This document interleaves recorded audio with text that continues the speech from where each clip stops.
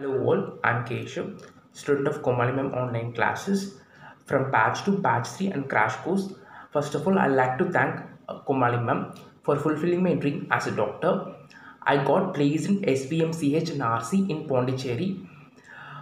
Uh, here I'd like to share some knowledge which I've gained from Komalimam and I, I would like to encounter a proverb if you want to eat a live frog, eat it in the morning. Nothing makes your day worse than that. Said by Mark Twain like that. If chemistry feels hard to you, attend the morning classes of the Komalimam. It makes your work easier because you will get 70% of the conceptual knowledge, rest 30% you have to apply in the MCQ. Your job is almost done. Then attend her classes most consistently. Don't leave any classes so that at last your concepts will get clear. All the concepts are clear.